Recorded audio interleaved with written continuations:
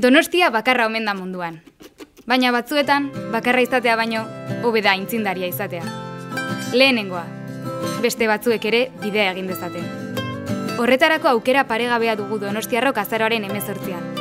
Donostia izango da autetxontziak kaleraterako dituen lehen euskal hiriburua. Orain arte sekula egin ez diguten galderari erantzungo diogu. Nahi alduzu euskal herritarrok gure etorkizun politikoa geure kabuz eta aske erabakitzea?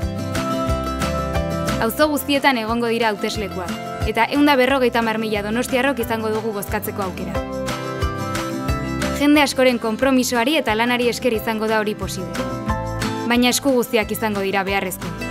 Baita zureak ere. Nola lagun dezakezu?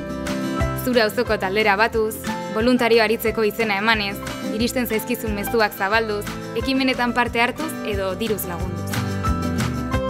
Azaroaren emezortzia, ondo gogoratu eguna.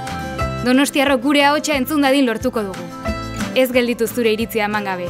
Azaroaren emezortzian, bozkatu galdeketan.